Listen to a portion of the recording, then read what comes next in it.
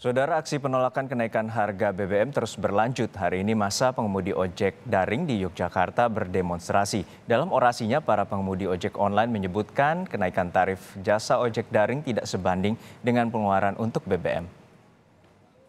Setelah beberapa hari terakhir aksi didominasi kalangan mahasiswa, kini giliran para pengemudi ojek daring yang menggelar aksi serupa.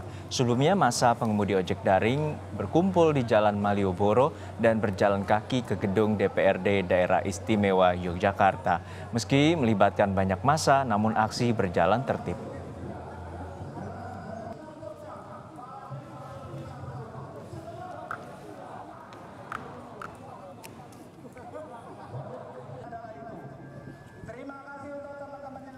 Dan untuk mengetahui informasi terkininya kita segera bergabung dengan jurnalis Kompas TV Michael Aryawan di Yogyakarta. Michael, apakah aksi unjuk rasa ini masih berlangsung hingga siang hari ini dan apakah ada rekayasa lalu lintas yang diterapkan pihak kepolisian?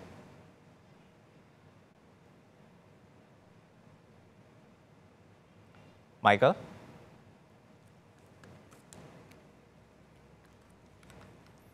Baik hingga saat ini Sejumlah pengemudi ojek online melakukan unjuk rasa terkait dengan menuntutnya kenaik atau menolak kenaikan harga BBM yang terjadi. Dan sebelumnya tarif yang sempat dinaikkan dinilai masih belum mencukupi untuk mengantisipasi atau mengurangi dampak dari kenaikan harga BBM dan hingga saat ini demonstrasi disebut masih dilakukan di depan gedung DPRD Yogyakarta. Dan saat ini kami telah terhubung dengan jurnalis Kompas TV Michael Aryawan di Yogyakarta.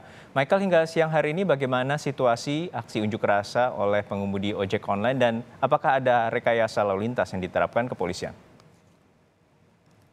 Ya, selamat siang Juno dan saudara. Uh, unjuk rasa dari para pengemudi ojek online sudah berakhir di gedung DPRD daerah istimewa Yogyakarta. Namun mereka uh, berjanji akan terus menggelar aksinya hingga tuntutannya ditanggapi oleh uh, pemerintah.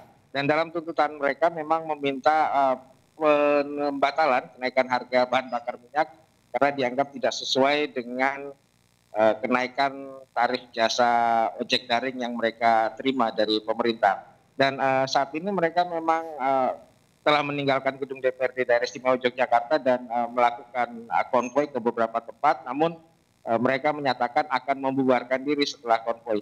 Namun sekali lagi Juno mereka tegaskan aksi serupa ini masih akan terus mereka lakukan hingga tuntutan mereka dipenuhi oleh pemerintah yaitu pembatalan kenaikan harga bahan bakar minyak. Sementara arus lalu lintas di Jalan Malioboro saat ini masih uh, lengang karena memang aksi sudah berakhir namun Eh, kemungkinan akan ada aksi lanjutan dari kalangan yang lain, dari kalangan mahasiswa dan para pekerja. Juno.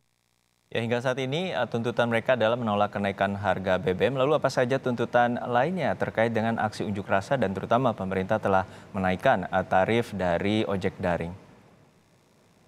Ya, kenaikan tarif ojek daring dianggap tidak sesuai dengan uh, kenaikan harga bahan bakar minyak yang mencapai 30 persen dan dari hitung-hitungan mereka memang Eh, hingga saat ini mereka masih merugi makanya kemudian mereka menggelar aksi serupa. Sebenarnya ada tuntutan lain dari mereka yaitu meminta kompensasi eh, dari kenaikan harga bahan bakar minyak ini. Namun mereka sendiri belum bisa merinci kompensasi seperti apa yang mereka tuntut sehingga akhirnya kembali lagi uh, tuntutan mereka bahwa pembatalan kenaikan harga bahan bakar minyak adalah hal yang terbaik. Selain itu mereka juga eh, menolak eh, bantuan langsung tunai eh, BBM yang dikucurkan oleh pemerintah terkait dengan adanya kenaikan harga bahan bakar minyak ini karena menurut mereka hal itu tidak sesuai, tidak seimbang dengan pengeluaran yang mereka keluarkan apalagi harga-harga barang saat ini terus naik, Juno. Baik, terima kasih atas laporan lengkap Anda Michael Aryawan dari Yogyakarta.